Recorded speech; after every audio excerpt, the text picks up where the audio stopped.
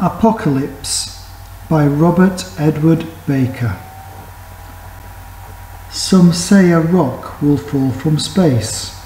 Some say a bug will decimate the human race and leave this earth a poisoned place. On hearing them, I can but shrug.